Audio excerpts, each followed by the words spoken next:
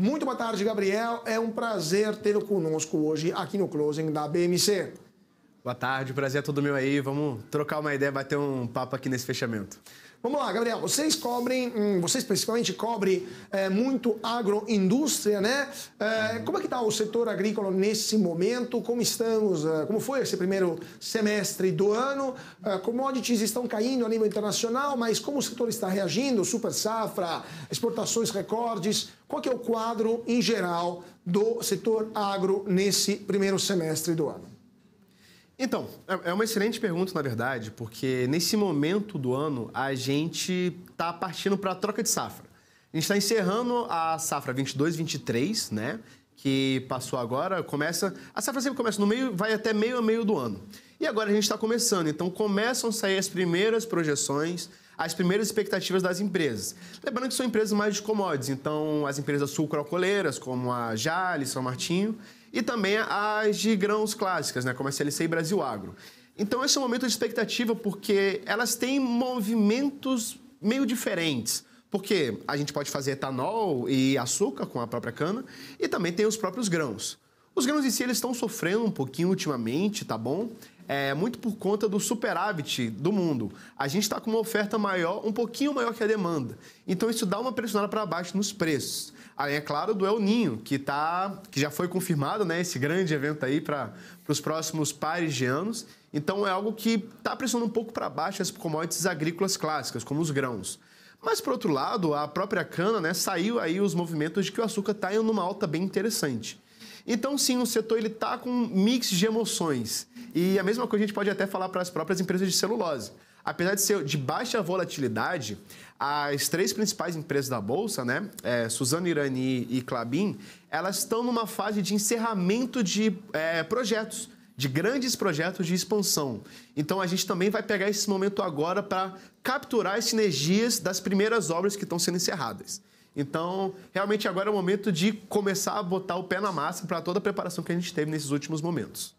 Perfeito. Agora, vamos falar um pouquinho de empresas, então, no específico, né? Porque a gente falou de grãos, falamos é, de é, também outros setores, de um, setor sucroalcooleiro. Eu queria te perguntar, começar a te perguntar sobre uh, setor de grãos. Vamos falar de setor de grãos. Ah, como é que está a Agro 3, por exemplo, né? Brasil Agro.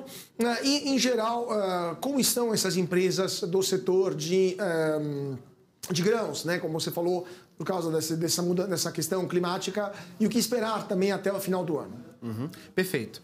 Então, é, para a gente contextualizar, na Bolsa são duas grandes empresas de grãos produtoras agrícolas. É tanto a Agro 3, que é a Brasil Agro, quanto a SLC Agrícola. Elas duas estão nesse momento de soltar projeções da safra. A Brasil Agro ainda não soltou para fazer barulho, mas a SLC já soltou, por exemplo. O que a gente tem que perceber é o seguinte, que Agora que a gente está vendendo o final da safra, o que foi colhido, o finalzinho ali, é agora o momento de vender. Então agora é a hora da verdade, da gente pegar o preço das commodities e o preço do dólar. Como a gente está bem percebendo aí no dia a dia, né, o dólar está em queda livre desde o início do ano. Então realmente é, é um movimento complicado para as empresas, porque como elas vendem em dólar, dólar em queda não é tão bom para as receitas. Ao mesmo ponto que as commodities, como eu bem falei, elas estão nesse, nesse movimento de queda por sofrer. Então as receitas elas tendem a ter um pouquinho de queda. Mas, por outro lado, os custos também estão caindo na mesma proporção e até maior. Então, eu até conversei com alguns produtores rurais, a tendência é que a relação líquida, ou seja, receita e custos, fique positiva. Diferente até de momentos que a gente teve com, mesmo com as commodities e dólar em alta, a relação estava negativa porque os custos estavam muito maiores. É só a gente lembrar, por exemplo, da crise da guerra da Ucrânia, né? Que os fertilizantes subiram muito e isso prejudicou muitos custos, mas também os fretes. A gente costuma esquecer dos fretes, mas eles são os grandes vilões aí, eles não caem desde a pandemia. É, é realmente uma pedra no sapato. Então a gente tem que pensar que esse é o grande movimento aí das próprias commodities, tanto Brasil Agro quanto a SLC. Perfeito. Agora, eh, só agora pensando em grãos também, eu pensei em outra empresa, não sei se você também tem essa cobertura, eh, da Boa Safra, né? Porque uhum. não é uma empresa de grãos diretamente, é uma empresa de tecnologia que trabalha com grãos, né? Ela faz é, questões de um, mixagem de grãos, né? Trabalha com questão de biológica, né? De grãos. como que estão essas empresas de tecnologia, de biotecnologia ligadas ao campo? E você acha que são oportunidades interessantes para o investidor pessoa física? Então, é até engraçado a gente falar porque as empresas mais de tecnologia, as novatas da bolsa, elas vão acabar se aproveitando mais do plano safra que foi anunciado. Por quê? Porque a gente no agro, a gente fala que tem dois momentos. O, an... o três momentos, na verdade. O antes, o dentro e depois a porteira, que a gente chama. Porteira é basicamente a fazenda. Então, o antes da porteira é o quê? É o pessoal dos insumos. Então, aí entra Boa Safra, AgroGalaxy, que é varejo, a própria Três Tentos, que está meio que nas três etapas, né? Ela, na verdade, na, antes e depois. Ela não produz, né? A, ela não faz a produção agrícola. E, ao mesmo passo, depois da porteira já é mais as empresas de logísticas. Aí eu já não tenho essa cobertura. Mas as empresas de antes, por elas é, trabalharem com os insumos e com as vendas, elas têm as margens um pouco mais apertadas, porque é, novamente, comprar e vender insumos né, é e que nem varejo. Então, quando você desenvolve a própria tecnologia em casa, por exemplo, a Vitia, você consegue botar a margem bruta aí de 80%. Mas quando você não tem, você vai começar a precisar um pouco mais de crédito. E aí, por isso que o Plano Safra entra. E aí, a grande novidade, o Plano Safra que ele aumentou, né, o maior da história, porque sempre vai ser, porque o Brasil está sempre crescendo, então todo o Plano Safra vai acabar sendo maior ele ajuda muito essas empresas. Então a gente tem que ver, porque como elas são novatas na bolsa, elas ainda precisam se provar. Tanto a Boa Safra, né, que com essa questão aí de vender sementes de soja, ela consegue capturar muito bem os pequenos e médios produtores, porque a gente tem que parar para pensar o seguinte: os grandes produtores, eles não precisam comprar nessas empresas. Eles têm um canal direto já com as grandes do mundo, as grandes commodities, uma Iara da vida, uma Cargill, uma Bunge, eles já têm um contato direto ali, já tem um zap, só ligar e vai. Agora, pequeno e médio produtor rural não tem. Então, essas empresas têm esse foco melhor com essa galera. Então, quando você começa a ter um plano safra que vai impulsionar, isso pode trazer boa perspectiva. Depende agora de como elas vão se balançar na, na, na própria questão dos custos dela e da operação, para realmente se provar que agora é a hora. Pois é, é, você falou do plano safra, né, da parte de da porteira para dentro e porteira para fora. Né? Da porteira uhum. para dentro, a reforma tributária, não sei se você quer comentar sobre esse ponto, mas é, é interessante essa questão de recursos né, que o, o Astor Agro vai ganhar também com a reforma tributária, porque vão ser isentadas, é, tem isenção de imposto de renda, é, desculpa, isenção de impostos às é, empresas do setor agro com faturamento até 3,6 milhões de reais, se não me engano. Que, que você acha dessa específica uh, isenção, dessa vantagem que o setor vai obter graças a essa reforma tributária? Olha, uma boa pergunta, eu tenho até aqui no meu caderninho anotado. Para vocês terem ideia, do... o Brasil é um manicômio tributário, né? Então, assim, apesar de não ser a melhor reforma, é a reforma que a gente precisa. É que nem o pessoal fala que é o Batman, né? Não é a hora que a gente, não é a hora que a gente merece, é a hora que a gente precisa, a reforma é a mesma coisa. É um manicômio tributário. Para vocês terem uma ideia, por exemplo, das grandes empresas, a, o pessoal fala muito, não, porque o agro ele só exporta, a gente não captura é, a produção aqui dentro do Brasil, não presta. Para vocês terem uma ideia, pessoal, é, por exemplo, a cadeia de algodão, que tanto o Brasil Agro quanto a SLC produzem, vale muito mais a pena exportar do que vender no mercado interno esses produtos. Por quê? Porque na venda no mercado interno tinha, ainda tem na verdade, que a reforma vai, vai passar ainda a valer 2027 a transação, é, tem incidência de PIS COFINS. E fica muito alto o custo tributário para você vender no Brasil. E isso a indústria brasileira ela começa a colapsar, porque você não vai acabar tendo uma matéria-prima né, barata.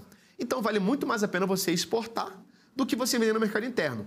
Com uma reforma tributária dessa, você unificando os impostos e facilitando ainda o próprio lobby, porque invariavelmente vai acabar tendo, para você reduzir essas alíquotas de PIS COFINS. Então, para as grandes empresas produtoras, isso é bom para o povo brasileiro, porque com os impostos mais sensatos e que a gente sabe calcular e sabe quanto paga, isso acaba tendo uma redução importante.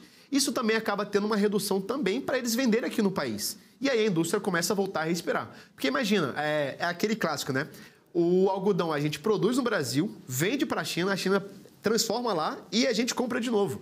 Isso não faz sentido e muito disso é por conta da do antigo é, sistema tributário vigente. Então, ela realmente traz até um fôlego, traz até uma esperança. Claro, não é que vai zerar o imposto disso tudo mais, até porque são volumes bilionários que o Brasil vende, mas a gente consegue já ter um norte para ver o quanto que a gente está pagando para, assim, facilitar essa venda no próprio mercado interno. Vai ser bem interessante ver esse movimento aí no futuro. Perfeito. Agora, vamos falar um pouquinho de uh, outro setor uh, interessante, que é o setor uh, de um, celulose, né? Como estão Perfeito. a Clabin, como está a Suzano, é o momento em que elas estão aumentando o preço de celulose a nível internacional, né? Repetidamente tivemos aumentos da venda de celulose, preço de venda lá fora, Qual é a sua visão sobre Clabin e Suzano nesse momento? Legal, legal. Então, a própria Clabin e Suzano, elas trabalham com a cadeia inteira. Elas produzem, elas têm a floresta, elas têm a celulose, elas produzem celulose e elas produzem o papel. No caso da Suzano, é, o foco é somente fibra curta. Na Clabin, não. Ela consegue fazer tanto fibra curta quanto fibra longa, apesar dela não vender, é, não é, vender produtos oriundos de fibra curta. Ela só vende a celulose mesmo é, bruta. Agora eu vou acabar esquecendo o nome do código delas, da celulose que é vendida lá fora.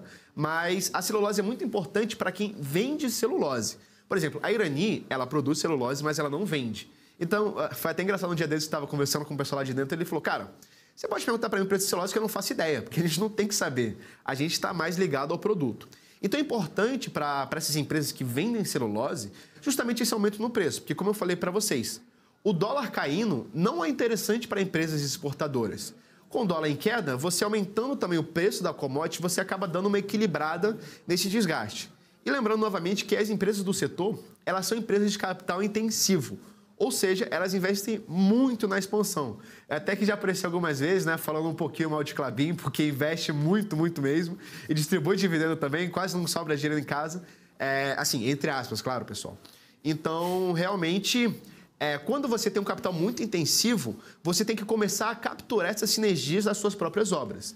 A própria Clabin agora está finalizando né, o, Puma 2, que é enorme. Quem for lá em Ortigueira, no Paraná, fala mesmo que é absurdo. O próprio produtor rural de lá, eles estão quase que desesperados, porque já está difícil achar terra para arrendar, para produzir soja, porque a Clabin está arrendando tudo para produzir celulose. Então, porque eles realmente precisam muito desse volume. E agora que eles vão começar a capturar essa sinergia de volume, justamente para poder colocar e aproveitar a própria celulose. Celulose é mais fácil de produzir, então com esse aumento agora, você consegue capturar esse preço de alta. A mesma coisa da Suzano, que está com um projeto lá no Mato Grosso do Sul, se não me engano, é, de papel tixo de celulose de fibra curta. Então, vamos acompanhando, porque é aquilo que eu falei. É o momento do pontapé inicial. O, o jogo, essa nova fase vai começar agora. Começou lá em 2018 com o anúncio das obras. E agora sim que a gente vai capturar toda essa sinergia aí do mercado de investimentos. É, alguns analistas falam que a Clabin já está no preço. Para mim também já está no preço, tá? De acordo com os meus relatórios de valuations. Suzano ainda não fiz um valuation, então não consigo te falar se ela está no preço ou não. Mas esse movimento de alta de celulose é sim benéfico para a receita de ambas. Perfeito. Então vamos eh, daqui a pouquinho continuar falando de empresas do setor agro eh, com o Gabriel Boente. Gabriel, fica conosco, eh, fica conosco.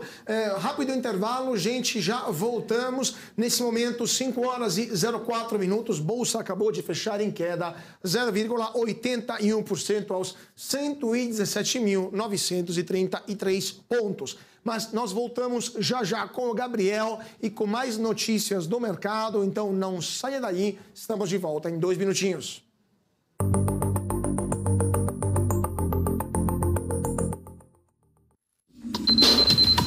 O que acontece no mercado financeiro no Brasil e no mundo está na BMC News. São 24 horas de programação para ajudar o investidor na melhor tomada de decisão. Independência e jornalismo sério. Não estamos plugados em nenhuma instituição financeira. Isso nos dá liberdade de levar a informação sem nenhum viés sem conflitos de interesse. Ser a ponte entre as notícias, empresas, especialistas e os investidores. Tudo de uma forma dinâmica e com uma pitada de bom humor. Informação que gera valor, você sempre vai encontrar na BMC News.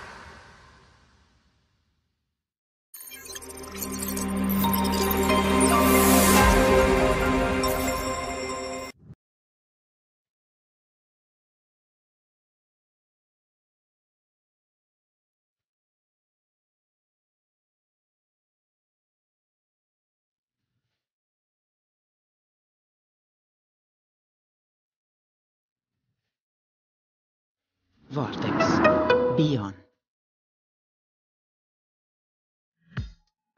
Tesouro Direto. Tenho certeza que você já ouviu falar nele. Mas você sabe o que ele é?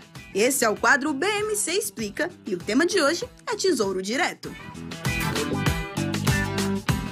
Bom, nada mais é do que um programa do governo brasileiro em parceria com a B3 que permite que pessoas físicas invistam diretamente em títulos públicos emitidos pelo Tesouro Nacional, bastando apenas ter uma conta num banco ou em uma corretora habilitada pelo Tesouro Direto.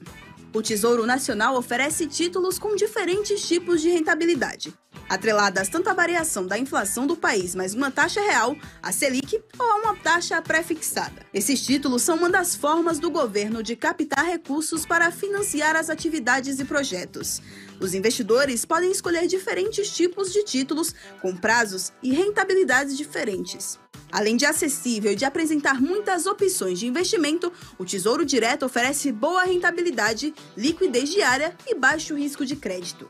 O investidor pode ficar até o final do prazo contratado ou até mesmo sair antes do prazo. No entanto, se sair antes, a rentabilidade pode oscilar, resultando ou em ganho maior do que o planejado ou até mesmo em perdas.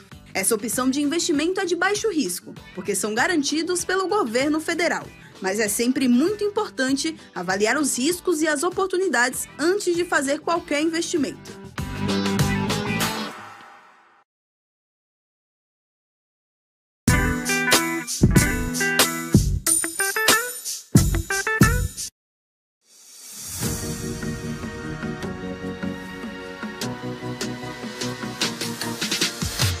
PMC News. Informação que gera valor.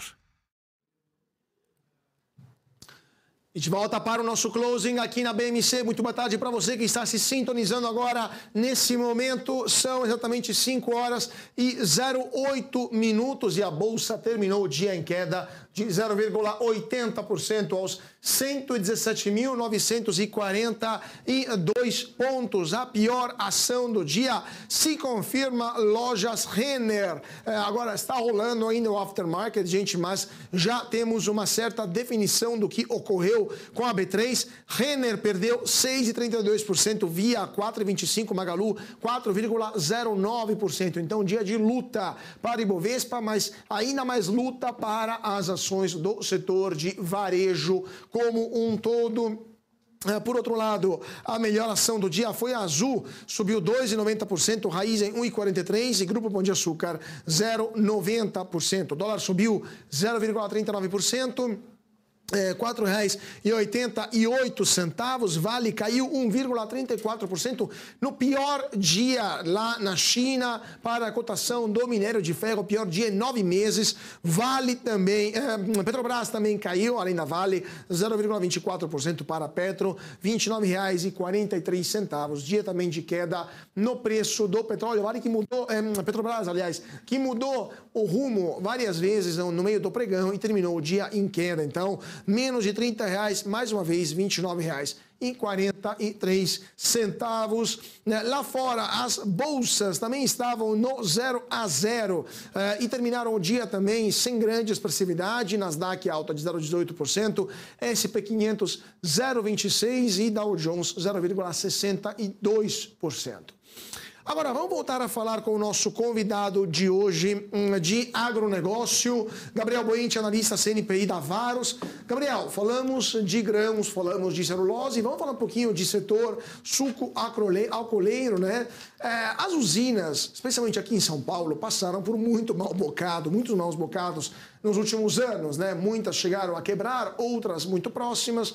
Como está o setor nesse momento? Como está também uma das gigantes do setor, a Jales?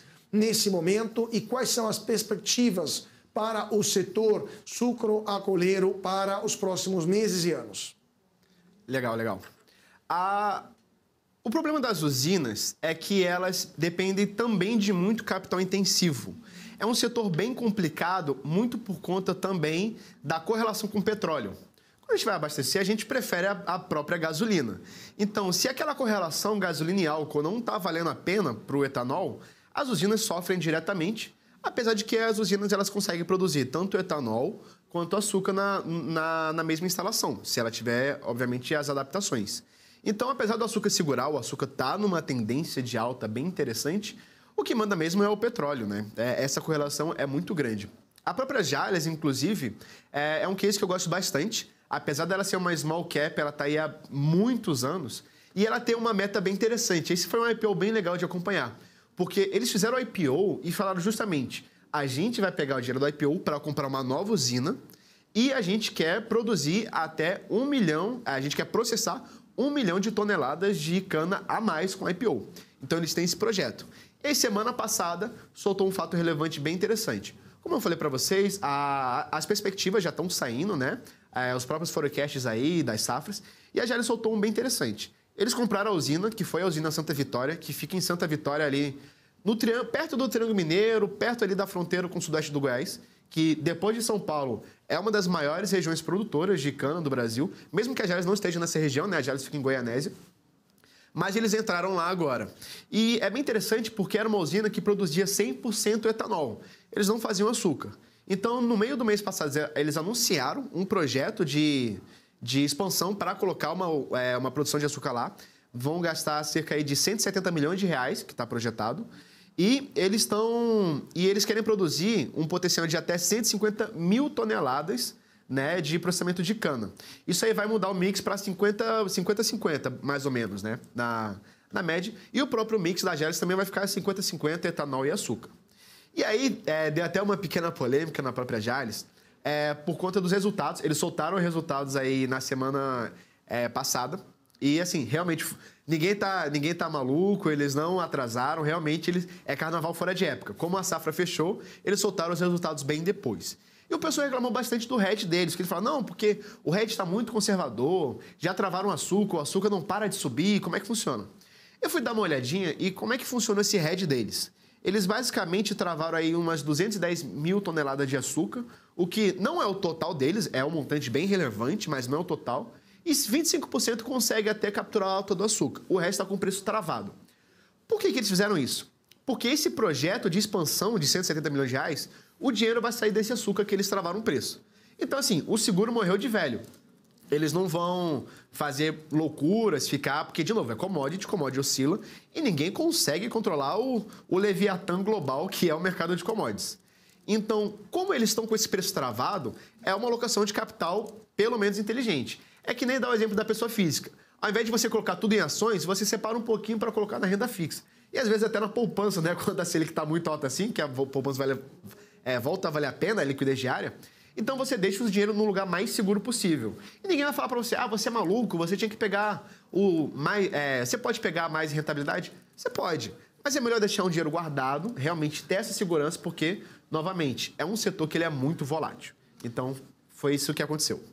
Agora, Gabriel, só vou te perguntar é, para depois a gente procurar o código né, do, da celulose, porque tem muito, é, tem muito do nosso público, tem uma, boa parcela do nosso público que está perguntando, é, especialmente nas redes sociais, sobre esse código. Enquanto você dá uma procurada, eu dou mais um giro do mercado aqui, porque é de fato uma informação é, que esses nossos telespectadores é, querem, é, querem saber bastante. Vamos dar uma olhada enquanto o Gabriel procura aqui o código, como está o mercado nesse esse aftermarket uh, se confirma então o mercado em queda uh, eh, 0,80%. Gente, lembramos que o aftermarket vai até às 18 horas, então tem muito tempo. Mas o Ibovespa então começa a segunda-feira com uma tendência de queda. E mesmo se as previsões para a Selic até o final do ano são melhores eh, do que na semana passada, as previsões do Boletim Focus, mesmo com sinais positivos, otimistas sobre o PIB, mesmo assim a semana começa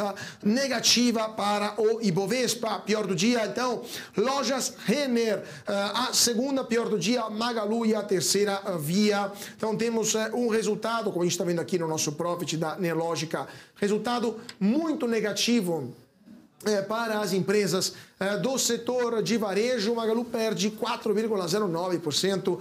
É, tivemos a Via também, é, que teve uma perda expressiva, menos 4,25%. Lojas Renda, menos 6,32%. CVC também perdeu bastante, 2,92%. Mas, em geral, todas as empresas do setor de varejo acabaram sofrendo e muito na Bolsa. Hoje, por outro lado, a Azul subiu 2,90%, é, a Raiz em 1,43% e o Grupo Pão de Açúcar dólar 0,90% de alta. O dólar também subiu hoje uh, 0,38%, mas de novo, são dados preliminares, porque agora já mudou, por exemplo, o dólar 0,37, porque o aftermarket ainda está acontecendo, dólar que está a R$ 4,88. Gabriel, não sei se você já conseguiu achar ou um, identificar o ticker. Qual que é o ticker, então, da cotação da celulose lá fora para os nossos telespectadores? Consegui, quem sabe faz ao vivo. Então, é, eu lembrava da curta, né? Que é o BHKP, é a celulose de fibra curta, e a celulose de fibra longa é a NBSK. Mas aí tem um, um complicadorzinho para você ver o preço de celulose. Geralmente as empresas elas pegam um lugar chamado Forex, que é uma bolsa própria de commodities. E aí, principalmente da celulose, é uma plataforma paga, então é, é um pouquinho complicado de ver o preço, tá? E depende também do lugar onde você está comprando e vendendo a, a, a celulose. Os, os, lugares mais comuns são a Bolsa da Europa, algumas bolsas da Europa, e China. É, principalmente Clabin e Irani, eles costumam vender mais na China também, mas eles acabam vendendo na Europa. Então, para quem tiver curiosidade, procurar no Google ou tiver acesso à própria Forex, o TIC é BHKP para fibra curta e NBSK para fibra longa. Lembrando que a fibra curta tende a ser um pouco mais volátil que a longa, justamente porque a fibra curta é aquele papel do dia a dia, papel higiênico, guardanapo. Então ela tende a ser um pouquinho, oscilar um pouquinho mais do que a fibra longa, que já é mais é papelão, papel cartão, enfim, caixa do leite, né? É, então ela tende a ser, como é mais valor agregado que a gente puxa da fibra longa, então ela é menos volátil.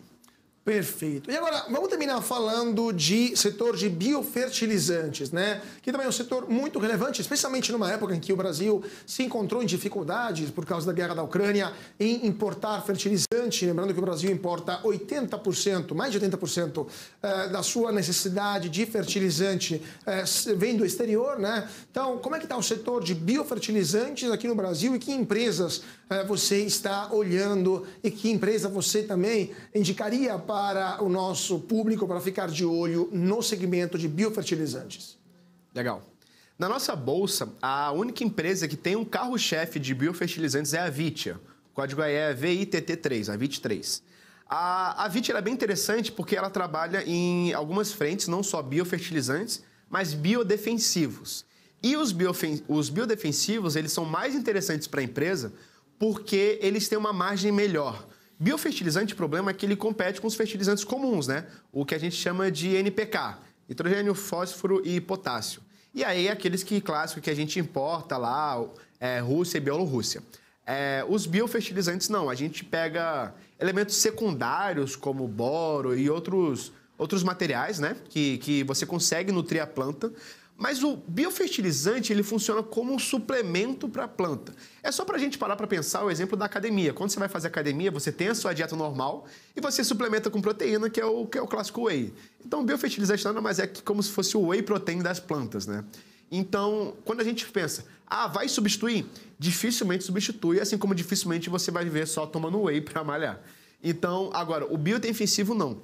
Ele consegue complementar bem e até fazer frente mas a nossa tecnologia, no mundo todo, é, falando como o mundo como um todo, ainda não consegue substituir. Mas ele potencializa aí os agrotóxicos, né? como a gente chama, que a gente chama de defensivos agrícolas.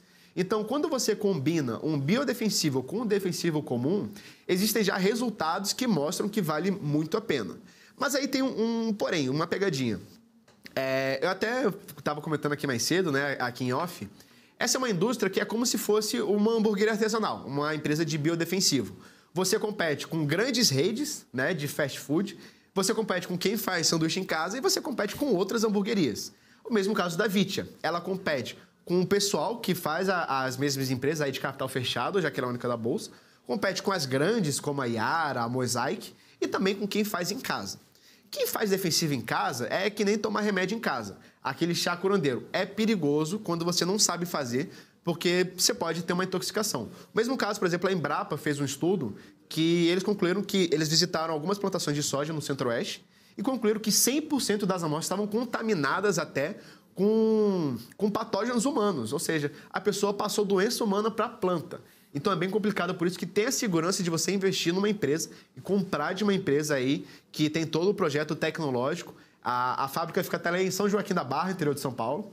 Então, justamente, eles têm todo esse processo, tem equipe de PHD que vai desenvolvendo. Agora, é um mercado que acaba sendo um oceano vermelho. Então, você tem que lançar sempre novos produtos e sempre novas tecnologias. Eu até mencionei que a margem bruta é de 80% aí, mais ou menos, dos produtos biológicos da Vitia. E é algo que eles estão investindo muito mais. Se a gente pegar o resultado deles até, há uma transição para que antes eram fertilizantes foliares, né? Que eles não são NPK, mas são outros tipos de fertilizantes. E eles estão migrando para maior receita ser de biológicos, justamente por conta dessa margem altíssima. Eles conseguindo executar esse plano, realmente é algo que é um futuro bem próximo que a gente pode olhar para a Vitia.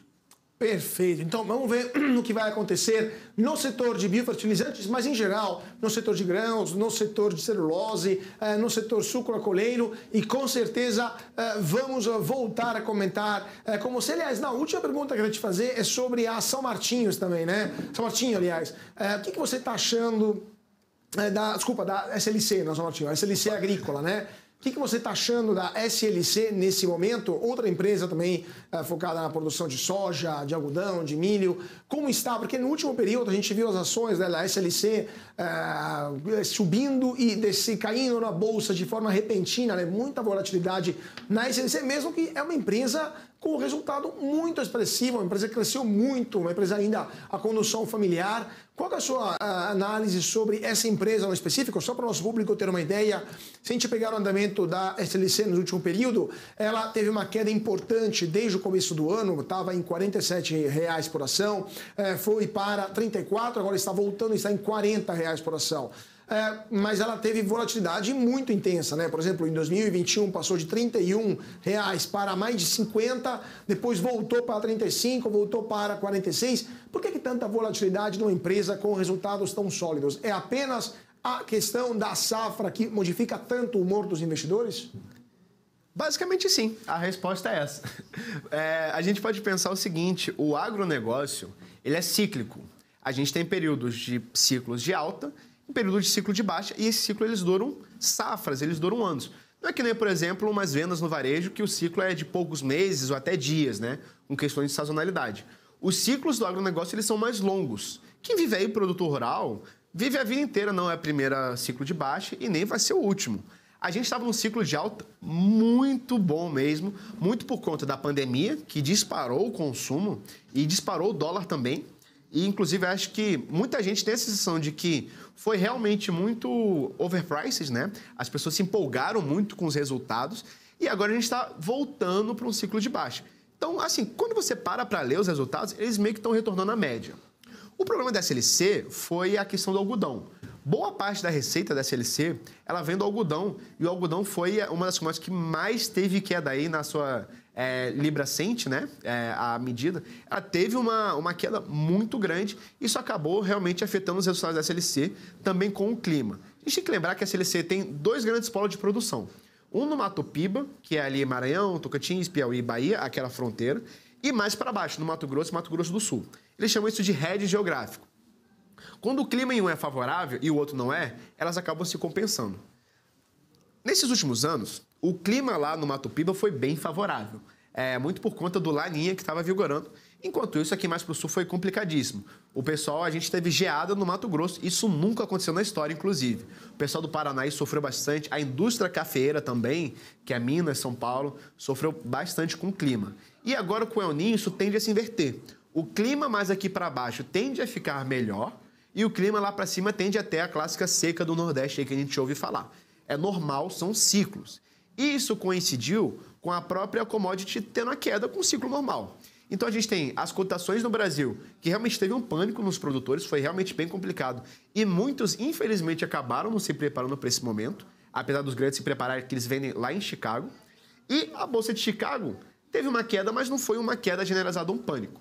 Então, isso com a notícia do El Ninho voltando, já derrubou, é, já derrubou bastante as ações. Por outro lado, a alta que teve foi que a SLC soltou nave dela. Todo ano, aí mais ou menos, na metade do ano, eles soltam a avaliação do portfólio de terras. E aqui eu tenho anotadinho, a, o portfólio de fazendas dela, na, no ano passado, estava avaliado em 9,3 bilhões de reais. Para essa safra, ele ficou avaliado em 10,9 bilhões, ou seja, o portfólio se valorizou em 1,6 bilhões de reais, o que é muita coisa.